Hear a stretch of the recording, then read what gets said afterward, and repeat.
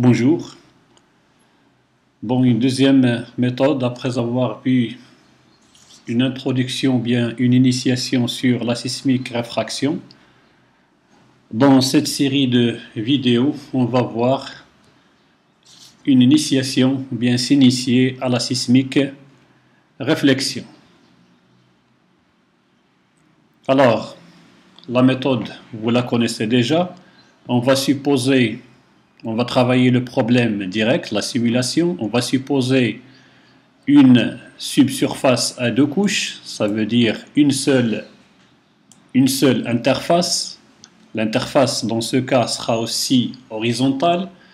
On va introduire le logiciel Reflect. On va dériver l'équation distance-temps, analyser les temps d'arrivée, définir le NMO, Normal Move Out, déterminer les vitesses et les épaisseurs, introduire la méthode de x carré moins t carré pour résoudre notre premier sismogramme de terrain, un sismogramme de réflexion. Puis on va passer à notre cas général multiple interface horizontale. On va voir l'équation de Dix, déterminer les vitesses, déterminer les épaisseurs et quelques discussions sur la méthode de 10. Et puis analyser un deuxième sismogramme, mais cette fois-ci, il contient multiples réflexions. Puis le problème, résoudre le problème d'interface inclinée. Distance, équation distance-temps, déterminer le pondage, l'épaisseur et la vitesse. D'autres approches pour, pour faire, ou bien pour déterminer le pondage, l'épaisseur et la vitesse un point, on revient à la définition de NMO, et puis un deuxième, ou bien une deuxième approche pour résoudre le problème de pondage, épaisseur et vitesse. Dans cette section, on va acquérir, comment acquérir et reconnaître les réflexions à partir des interfaces peu profondes. Alors, on va définir qu'est-ce que c'est que la fenêtre optimale, définir les réflexions multiples et le phénomène de, diffraction. Puis, on va attaquer les procédures sur le terme. Quelques considérations instrumentales. La propagation, bien comment allonger nos géophones, des méthodes de split spread, common offset et CDP, common depth point.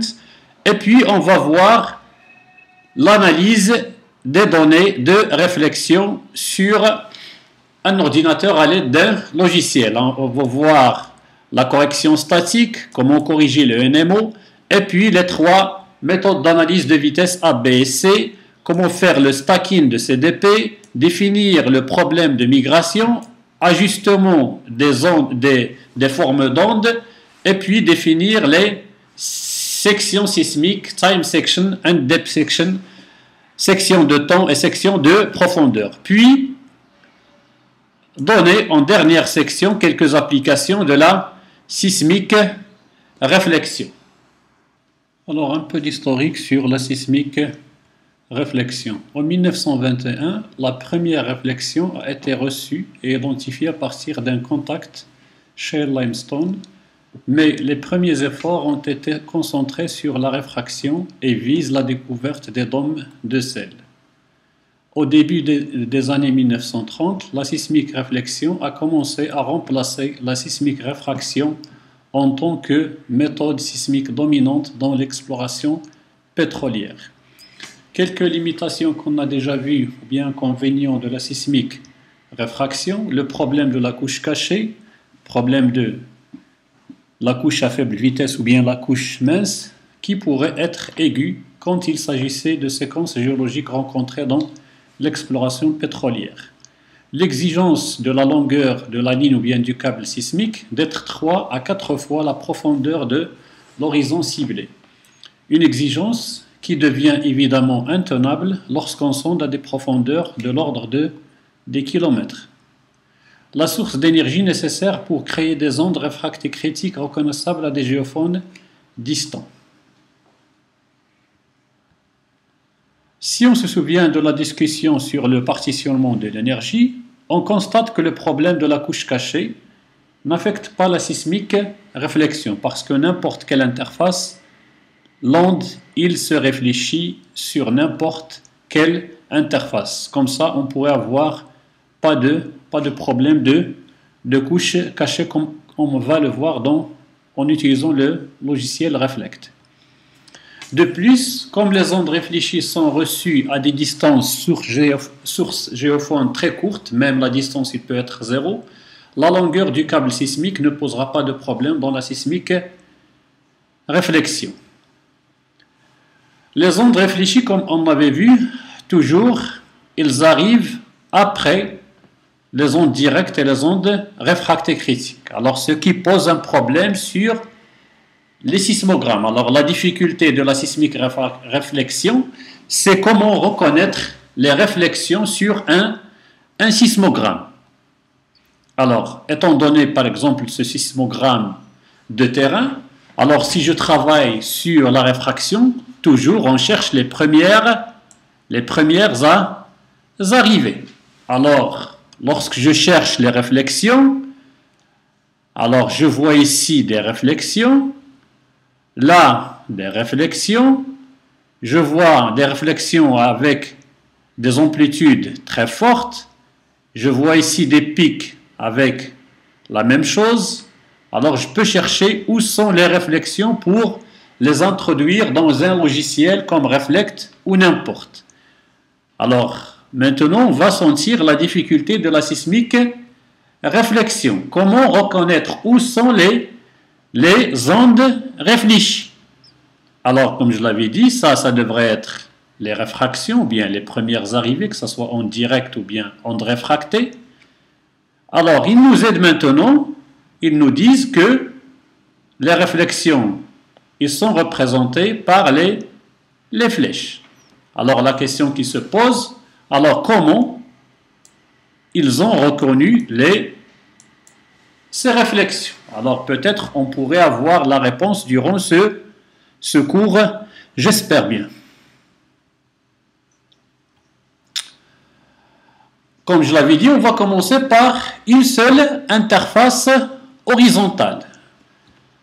Tout d'abord, on traitera le cas simple d'une seule interface horizontale pour développer une équation distance-temps pour ce cas spécial. Alors, deux couches avec une seule interface horizontale.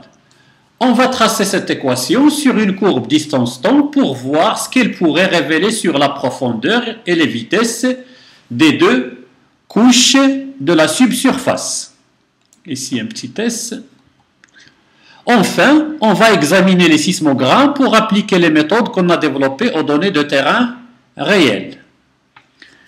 Un logiciel de modélisation tel que Reflect est utile pour explorer un certain nombre de paramètres impliqués dans la compréhension des modèles de réflexion et leur relation avec les arrivées des, des autres ondes. Reflect, elle est similaire à Refract, alors que Refract trace les résultats sous forme de points de données sur une courbe distance-temps. Reflect, comme on l'avait déjà vu, il produit un sismogramme simulé.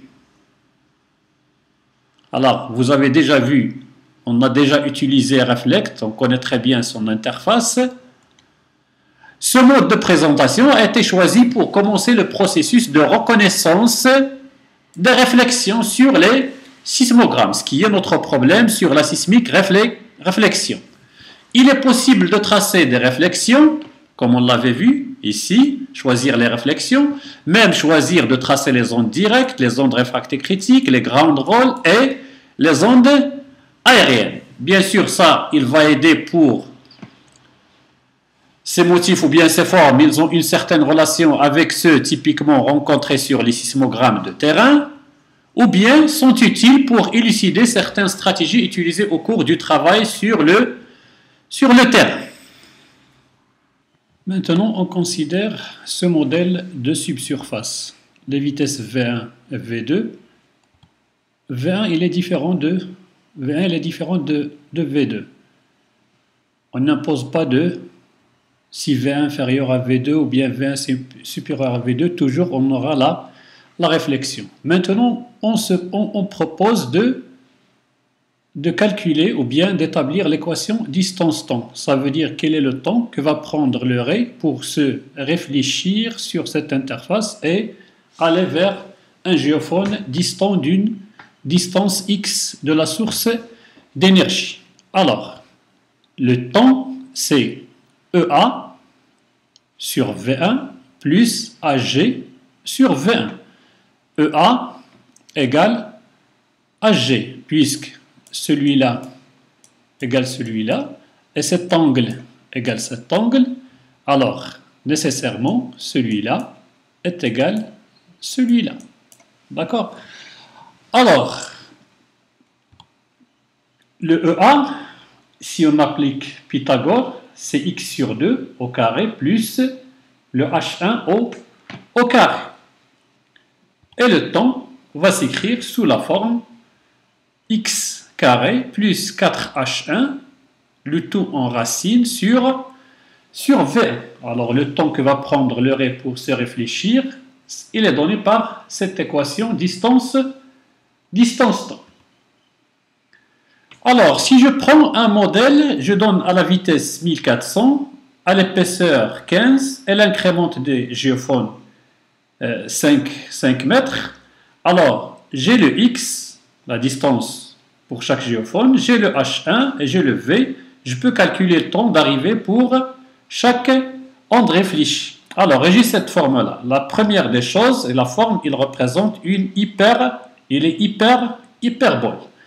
Alors, on se pose maintenant des questions sur la relation entre les arrivées des ondes réfléchies et celles des, autres ondes, soit directes, soit réfractées, critiques. Alors, on sait déjà l'équation pour les ondes directes, le temps c'est x sur V1. Alors, si, si j'ajoute les ondes directes à ce plot, qu'est-ce que je remarque? Je remarque que vers les, géophones distants, il y a une certaine convergence entre les ondes réfléchies et les ondes directes. D'accord.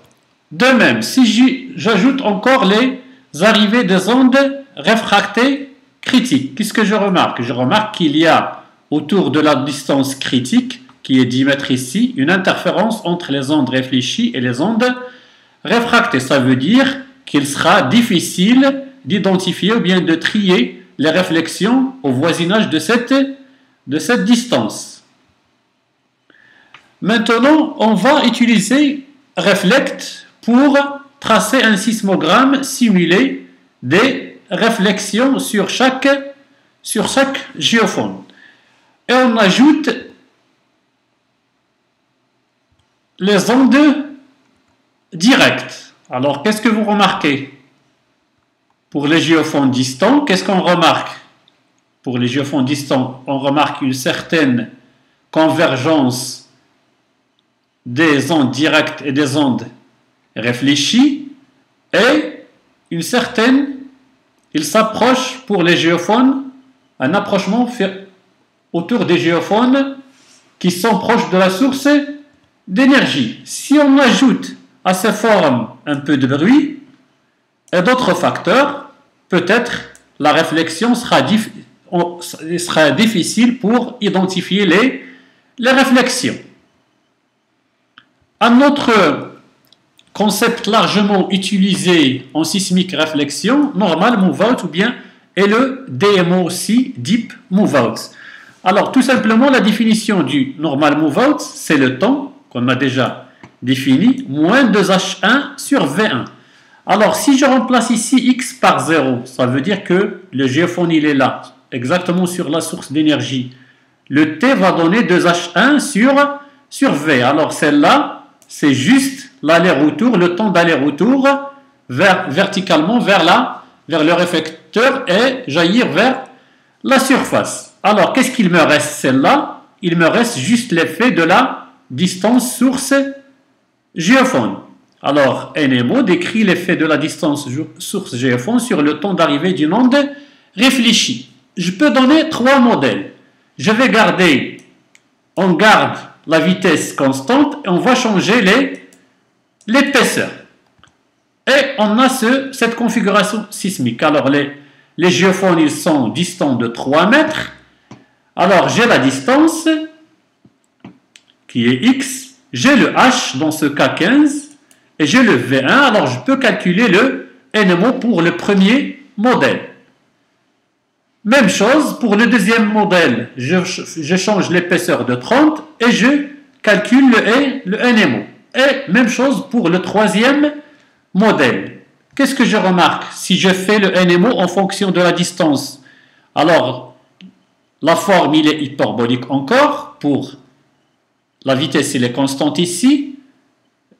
Et je change, on est en train de changer le, juste l'épaisseur.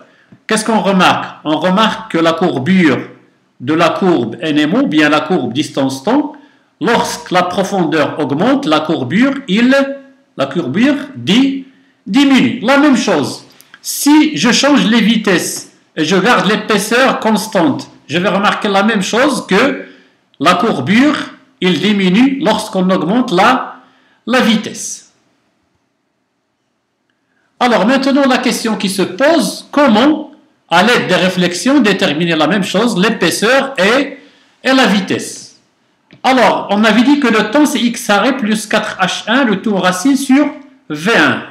Si on fait le carré, qu'est-ce que je vais obtenir? Le t carré, le temps au carré, égale x carré plus 4h1 sur v1. Ça veut dire, c'est 1 sur v, v carré, x carré plus 4h1 sur v carré. Cette équation, elle s'écrit comment? Elle est linéaire. Comme si c'était A, le x carré, je vais le, remplacer par grand X plus, B. Alors, si je fais le plot de t carré en fonction de x carré, qu'est-ce que j'aurai? J'aurai une certaine, quelque chose qui est linéaire. Alors, et si je donne à x égale 0, lorsque x égale 0, le t0 égale combien? Égale 4h1 sur V1. Alors, si j'ai le T0 et j'ai le V1 qui va représenter l'inverse de la pente, alors je peux calculer à cet instant le, le H1 qui sera T0 V1 sur, sur 2. Alors, si on tourne cet exemple sur, sur Reflect, on va prendre 12 géophones, un offset de 15 mètres et un espacement de géophone de 10 mètres. On va considérer ce, ce modèle de subsurface et on va considérer juste les, les réflexions. Alors on va partir de ce modèle et on va voir est-ce qu'on peut faire l'inversion et revenir à notre modèle initial. Alors, Reflect, il va nous donner cette forme en se basant sur ce modèle Qu'est-ce qu'on va faire maintenant? On va lire, on va la même chose, faire le, la courbe distance-temps. Pour chaque géophone, on va lire le temps d'arrivée de chaque, de chaque onde réfléchie. Alors, si je donne ce tableau, pour le premier géophone qui est situé à 15 mètres, le temps d'arrivée, c'est combien? À peu près, c'est 50,7. Pour le deuxième géophone, 51,9. Et ainsi de suite. Et qu'est-ce que je vais faire comme plot? Je vais faire carré en fonction de x carré. Alors, allons-y, on va le faire sur Reflect et voir les, les résultats. Alors, on va lancer Reflect. Alors, le nombre de géophones, c'est 12, l'offset, c'est 15, et l'espacement ou l'intergéophone, c'est 10 mètres.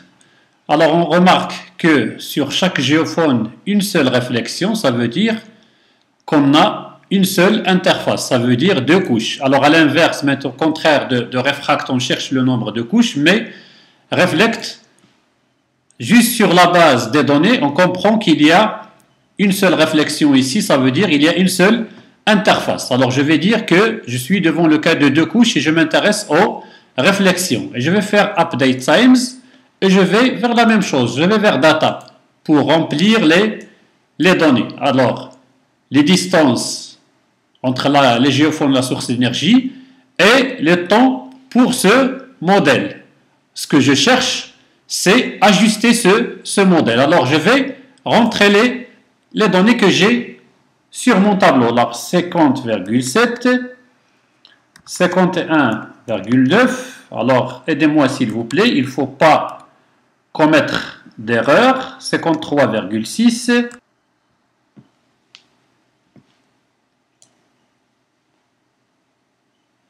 Alors, maintenant qu'on a rempli le tableau, on va demander à Reflect de faire le t carré en fonction de, de x carré. Alors, je vais vers fit, alors, je vois ici, qu'est-ce qu'elle a fait?